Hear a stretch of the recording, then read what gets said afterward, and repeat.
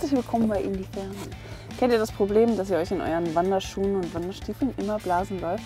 Bei mir war das früher auch so. Jetzt nicht mehr. Ich habe nämlich einfach richtig lange gesucht nach Schuhen und Stiefeln, bei denen ich diese Probleme nicht mehr habe. Und welche das sind, was meine Top 3 Empfehlungen für Wanderschuhe, Wanderstiefel und Trailrunning-Schuhe sind, das seht ihr in diesem Video.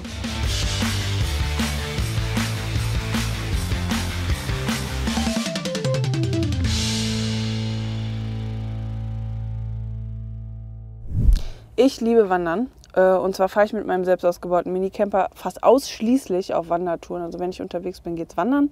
Und dementsprechend lange habe ich nach Equipment gesucht, das für mich funktioniert. Ich hatte bei den Schuhen immer ähnliche Probleme. Entweder waren die Füße zu schwitzig oder es war nicht wasserdicht. Ähm, es gab nicht genug Platz, habe mir Blasen gelaufen. Wenn ihr wissen wollt, welche Basics ich nutze, welche ich empfehlen würde, welche ich auch sortiert habe, dann bleibt einfach dran, dann ist das Video nämlich für euch. Kleiner Hinweis, es handelt sich um eine Videoserie, eine ganze Reihe und das ist ein Teil davon, in dem es wirklich nur um die Schuhe geht. Wenn euch die anderen Teile interessieren, werde ich sie euch entweder am Ende des Videos oder im Laufe des Videos hier irgendwo verlinken oder in der Infobox. Und ihr findet sie auf jeden Fall später auf dem Kanal, sobald sie produziert sind. Also ich komme mittlerweile mit drei Paaren hin. Drei, mit drei Paaren ist alles abgedeckt. Jeder Einsatzzweck, jede Wetterlage. Äh, mehr brauche ich nicht. Ich stelle euch jetzt jedes Paar einzeln vor. Ich sage ein bisschen was zu den wichtigsten Eckdaten, zu den Schuhen, zu meinen persönlichen Erfahrungen mit dem Modell und ähm, auch was zu den Preisen und vielleicht zur Marke oder zur Firma, wenn es da irgendwie was Interessantes gibt. Ich mache keine mehrtägigen Wanderungen bisher, sondern wenn überhaupt so komplette ganze Tage und dann aber alles auch, also zwischen wenigen Kilometern, 5 Kilometer bis 20 Kilometer. Das ist so die Spanne. Und äh, dann alle Untergründe, also selten im alpinen Gelände, aber von den Untergründen ist es wirklich alles. Ihr werdet sehen, dass sich bei allen Schuhen ein Muster durchzieht. Äh, und zwar handelt es sich vorrangig um Trailrunning-Schuhe, bis auf das eine letzte Paar. Das, ist, ähm, das sind wirkliche Wanderstiefel. Aber ich weiß nicht warum, aber es, die, die klassischen Wanderschuhe, die, die taugen einfach für meine Zwecke irgendwie nichts. Ich bin bei den Trailrunning-Schuhen hängen geblieben und bin damit so dermaßen zufrieden. Nutze alle Paare auch gleichmäßig, regelmäßig, je nach Einsatzzweck. Also gibt es keins, das ich jetzt besser oder schlechter finde, sondern alle gleich gut. Fangen wir mal ganz vorne an. Und zwar hatte ich im Sommer immer das Problem, wenn ich wandern war und es ging über, auf Strecken, äh, die länger waren als fünf Kilometer, dass ich mir immer Blasen gelaufen habe. Und wenn die Schuhe irgendwie wasserdicht waren oder die Wanderstiefel, dann gab es immer auch schwitzige Füße und die waren nicht wirklich wasserdicht. Und dann habe ich gedacht, okay, wenn das irgendwie eh nicht funktioniert, dass du einerseits wasserabweisende Schuhe haben willst, aber auch nicht schwitzige Füße und auch keine Blasen und so, das bedingt sich alles gegenseitig beim Fußklima, dann habe ich gedacht, da mache ich es doch einfach so im Sommer, dass ich mir Schuhe hole, die ganz bewusst nicht wasserabweisend sind ähm, die aber dafür dann schneller trocknen können und auch nicht so lange nass und feucht bleiben. Und so, dass wenn ich schwitze in den Schuhen oder die Füße ein bisschen anschwellen, dass ähm, die Flüssigkeit, äh, der Schweiß halt auch nach außen getragen werden kann. Und da benutze ich das Modell von Ultra, Ultra Running, Lone Peak 4.5. Mittlerweile gibt es auch äh, Lone Peak äh, 5. Und ja, die sind so, also sind sehr niedrig geschnitten, haben hier oben so ein Mesh-Material. Das haben eigentlich die meisten Schuhe, die ich benutze. Weil irgendwie hat sich für mich, für mich hat sich das bewährt, wenn es irgendwie die Oberfläche äh, auf dem Schuh, das Obermaterial atmungsaktiv ist. Und ansonsten haben sie ein sehr äh, markantes Profil und man sieht auch schon, erstens, die hatten hier, ist natürlich jetzt mittlerweile ein bisschen abgelaufen, aber äh, die haben hier fast Stollen, sodass man auch auf matschigen Untergründen noch genügend Halt findet. Und die sind ein bisschen breiter extra hier vorne. Und zwar ist das bei manchen Füßen so, dass sie dann links und rechts, entweder am dicken Zeh und am kleinen Zeh, sich da dann die Blasen laufen oder wund laufen oder irgendwie die Zehe zu dolle aneinander schubbern und zusammengedrückt werden. Vor allem, wenn man länger läuft und die gut durchblutet sind. Und das war bei mir halt der Fall. Bei denen habe ich genügend Platz, da, da drin ist Luft. Die Sohle ist sehr bequem ja, und äh, da war dann halt immer noch genügend Raum, dass wenn die Füße anschwellen, äh, dass sie sich dann ausbreiten können. Ja, die sind sehr, sehr leicht. Also wirklich, ich würde sagen, noch leichter als meine normalen Sportschuhe, die ich auch ab und zu mal genommen habe. Aber ähm, die waren auch nicht wirklich so atmungsaktiv wie diese. Die sind halt sehr luftdurchlässig. Und genau, wenn es dann halt mal feucht wird, also hier am Rand, man sieht ja auch, die halten die Grundflüssigkeit ab und so, das ist jetzt kein Problem. Aber wenn es jetzt mal wirklich durch krasse Pfützen gehen würde oder es sehr doll regnen würde, dann würden die Füße bewusst nass werden, aber eben auch viel, viel schneller trocknen. Ich habe das Modell daraufhin Freunden oder Freundinnen, die das gleiche Problem hatten mit den Blasen und den wundgelaufenen Stellen, empfohlen. Die haben sich die auch geholt und sind mega zufrieden, alle durchweg. Tragen die mittlerweile sogar häufig im Alltag. Das mache ich auch manchmal, einfach so, wenn ich irgendwo rumrenne. Sollte man es zwar nicht machen, damit die Stollen sich nicht so ablaufen auf dem Asphalt und so. Aber ähm, die sind halt einfach generell bequem und die passen halt zu vielen Sachen und man sieht nicht sofort aus wie komplett Wandermontur. Vorher habe ich ausprobiert klassische Wanderstiefel aus Leder, dann habe ich welche aus einem Mix aus Funktionsmaterial probiert, sowohl wasserdicht als auch nicht wasserdicht, unter anderem von Decathlon. Dann äh, habe ich gedacht, ich nehme einfach normale Sportschuhe, habe da verschiedene Paare probiert, ähm, Laufschuhe, ganz normale Schuhe, auch mit, ähm, mit einem gewissen Profil in der Sohle. Am bequemsten waren wirklich noch sehr ausgelatschte Lederwanderstiefel. Die habe ich lange benutzt, aber die waren irgendwann dann auch hin. Und natürlich, wenn es regnet und auch wenn es kühler ist oder so und die mal wirklich nass werden, das trocknet schlecht und ähm, die halten auch nicht wirklich warm. Aber bequem von allem waren sie die bequemsten und äh, die restlichen Schuhe haben einfach nicht, nicht, nicht getaugt.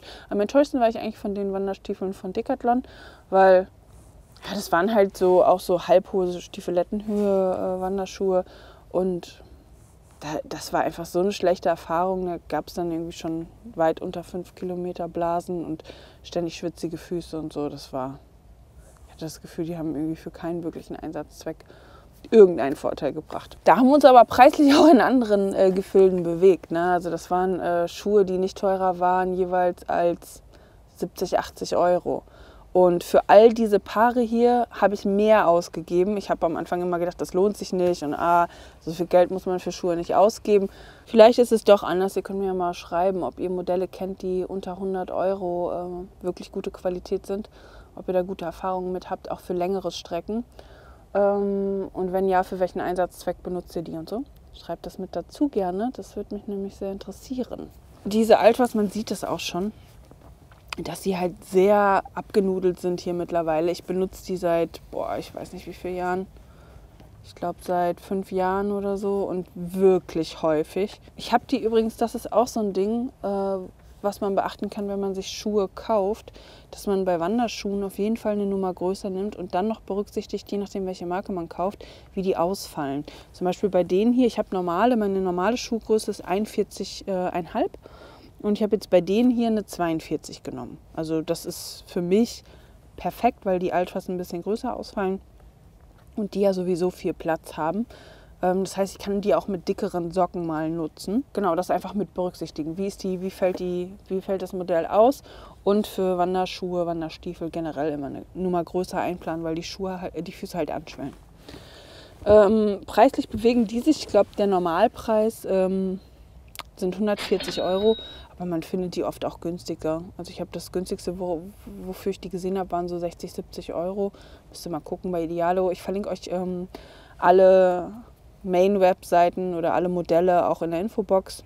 Ich kriege für, für keine dieser Infos irgendwas für diese Empfehlungen. Das ist einfach mein, mein persönlicher Geschmack und meine Hoffnung, irgendwem da draußen, der ein Problem hat, noch eine Lösung zu bieten.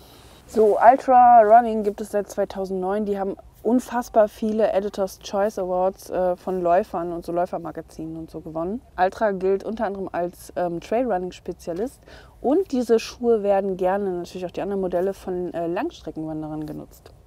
USA, habe ich das schon gesagt? Daher kommen die. Beim zweiten Paar handelt es sich um ein Modell, das ich meistens nutze, wenn es ähm, regnet oder der Boden sehr, sehr matschig ist oder ich weiß, es könnte extrem rutschig werden oder es gibt krass viele Steigungen und äh, unebenes Terrain oder es ist halt ein bisschen kälter. Äh, das sind wasserdichte Schuhe, also erstmal, die sind, das sind die Salomon äh, GTX Speedcross, ich glaube 5. GTX steht für Gore-Tex, also die sind wasserdicht, wasserabweisend. In denen habe ich das sogar so gemacht, weil diese Salomon äh, kleiner ausfallen. Da sagt man eh, nimm eine Größe kleiner, äh, größer ähm, habe ich die in 42 zwei Drittel genommen. Besser wäre 42,5 gewesen, aber durch diese, dieses minimale, durch den minimalen Spielraum, ich habe ja wie gesagt äh, normalerweise 41,5, 41,5, ähm, kann man hier auch noch andere Einlagen reinlegen, je nachdem, was man so braucht, halt so Anti-Schwitzeinlagen im Sommer oder ähm, ja, wärmende Thermoeinlagen im Winter. Und man kann bei allen Paaren, die ich heute vorstelle, die Sohle auch rausnehmen und seine eigene, wenn man jetzt orthopädische benutzt oder so, stattdessen reintun. Auch da besonderer Untergrund, also besonderes Profil sozusagen. Richtig schön dicke Stollen, dass man im Matsch, im Regen nicht ausrutscht und Halt hat. Dann die ganzen Seiten sind so weit gummiert und mit, mit festem Material verschlossen, dass hier auf jeden Fall, wenn man auch durch Pfützen läuft oder nasse Wiesen oder so, dass da nichts durchkommt. Und hier ist es äh, ungewöhnlich, aber sehr bequem und natürlich auch funktional. Hier gibt es neben diesem Mesh-Material noch so eine Art ähm, Neo, also wie von einem äh, Neoprenanzug Material. Hier oben ein bisschen dünner und ganz flexibel und hier unten ein bisschen dicker an der Zunge, ein bisschen Mesh-Material noch oben drauf. Es schützt irgendwie vor Wasser und auch davor, dass es kalt wird. Also man kriegt auch keine schwitzigen Füße da drin. Ich weiß nicht genau, wie das funktioniert. Äh, und was ganz besonders ist, was ich äh, sehr, sehr mag, ist der Verschluss. Das heißt, man geht hier rein, macht sich die halt auf die Größe, die man möchte, zieht sich das so zu, kann natürlich hier auch zuziehen. Das ist ganz dünn, aber sehr stabil. Und dann hat man hier oben, das ist auch angenehm, das äh, mit dem Finger anzufassen, ist so ein bisschen gummiert. Und dann zieht man sich das, dieses Ding hier, einfach bis nach unten, so eng, wie man das haben möchte. Und dann kann man das, ich glaube, man könnte es hier auch durch die Lasche stecken. Vielleicht ist die sogar dafür vorgesehen oder so. Ich mache das immer anders. Äh, stecke das hier unten durch das letzte, durch das letzte Bändchen weil dann habe ich es nicht so schwer, das nachher wieder rauszuholen. Dadurch, dass das alles hier so smooth miteinander, ich glaube, das ist verschweißt worden, gibt es halt keine nervigen Nähte. Also von innen spürt man so gut wie gar nichts. Also es gibt natürlich auch hier noch eine Innennaht und so, aber alles, was hier vorne am Fuß ist, fühlt sich ganz ganz eben, glatt und gleichmäßig an, sodass man nicht irgendwie drückende, äh, wundgescheuerte Stellen hat. Auch hier kriegt man keine Blasen, auch keine schwitzigen Füße, hatte ich schon gesagt. Je nachdem, wann ich die nutze, ob jetzt ähm, bei wärmerem Wetter oder kälterem Wetter, nutze ich andere Socken. Aber um Socken geht es in einem der nächsten Videos dazu, kann ich, kann auch stundenlang erzählen. Dann ist mir aufgefallen, dadurch, dass hier das Material komplett zu ist und hier drunter erst die Zunge verläuft, ähm, können keine, kann kein Steinchen oder irgendwie Pflanzenreste oder so hier durch diese Zwischenräume gehen. Das ist auch bei den Ultras irgendwie so, dass vorne dieser, der Teil sehr weit nach oben geht. Hier geht es natürlich noch weiter, ganz nach oben. Und äh, das ist so nervig bei vielen anderen Schuhen, die ich habe. Und hier musst du dann nicht irgendwie immer die Reste rauspflücken. Die Sohle, also es, äh, wenn man auf diesen Schuhen läuft oder so, habe ich das Gefühl, das ist eine Ortholite, heißt die Technologie, äh, Sohle. Und ähm, es ist sehr gut gefedert, ist auch ein extrem leichter Schuh und ich würde sagen, im Vergleich zu vielen anderen Wanderstiefeln und Wanderschuhen, die ich getestet habe, dadurch, dass sie leicht sind und so gut gepolstert, so gut gefedert, kriege ich, ich neige dazu, einfach äh, schnell dann irgendwie Schmerzen im, im, Knie oder in der Hüfte zu kriegen, wenn ähm, die Sohle nicht gut ist oder wenn der Schuh zusätzlich zu schwer ist und ich damit nicht richtig laufen kann oder so. Habe ich mit denen nie gehabt. Was auch cool ist, äh, man hat ein bisschen mehr Halt, dadurch, dass es hier auch sehr verstärkt ist, äh, ist das nicht ganz so flexibel wie zum Beispiel bei diesen Sommerschuhen hier, diesen Ultras.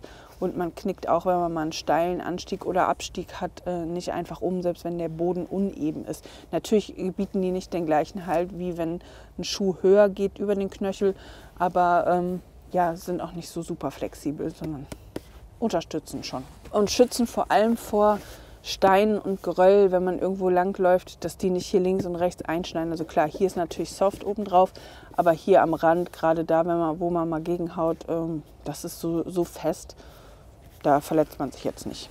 Neupreis ist bei den Schuhen 160 Euro, das ist eine Stange Geld, aber die gibt es auf jeden Fall auch für um die 100, 110 Euro regelmäßig.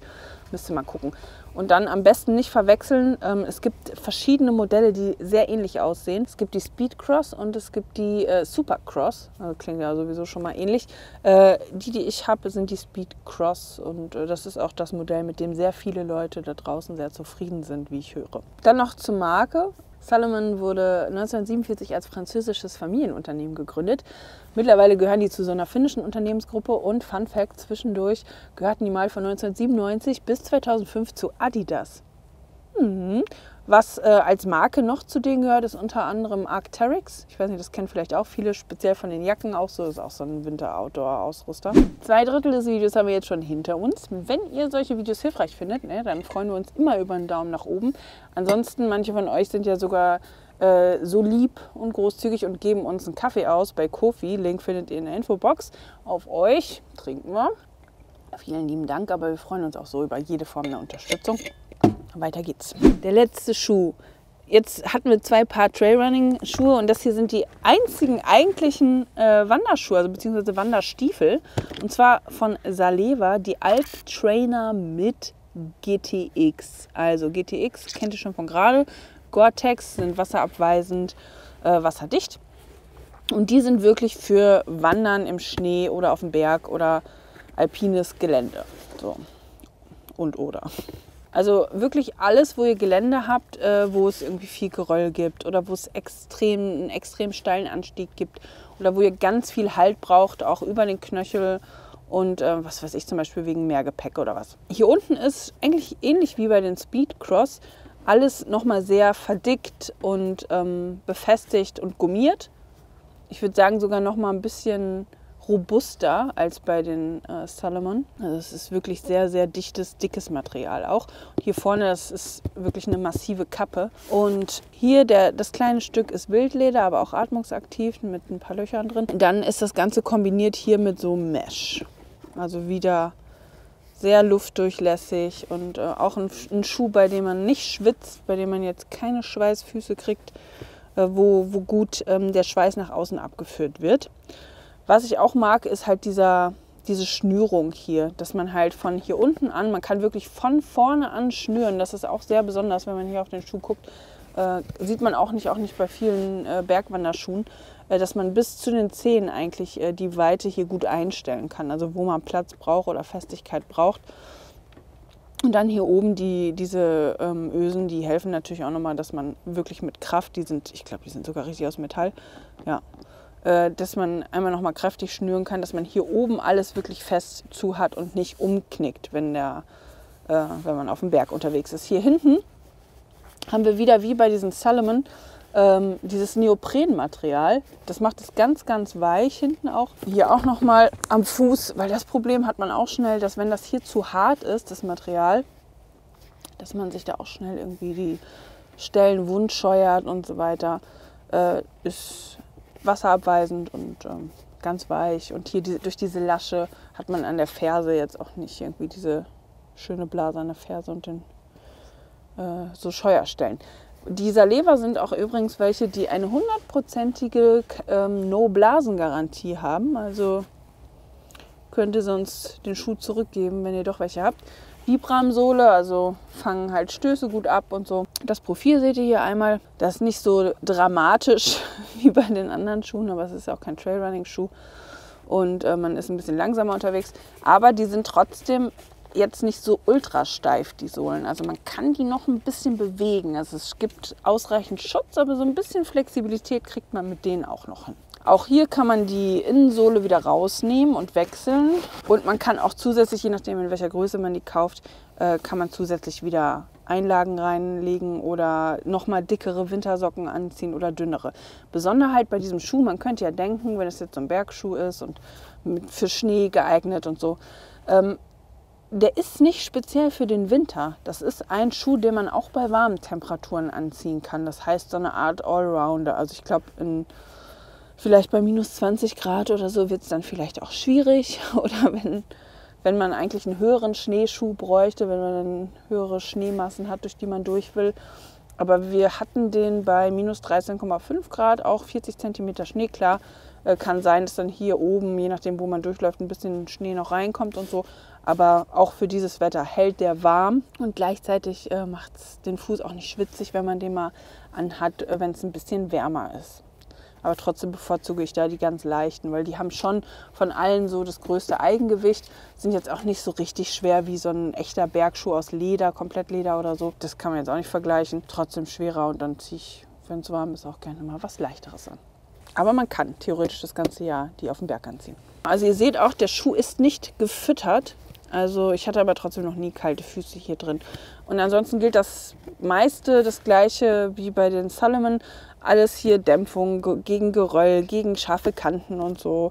Äh, dass man keine Schmerzen bekommt, wenn man lange da drin läuft. Sowohl hier Hüfte als auch Knie, weil die Sohle gut abdämpft und äh, dick genug ist. Ein Schuh von den äh, von diesen Saleva wiegt 540 Gramm. Also das ist wirklich mit Abstand hier das Schwerste. Ist jetzt noch nicht ultra schwer, also echte Wanderschuhe, Wanderstiefel.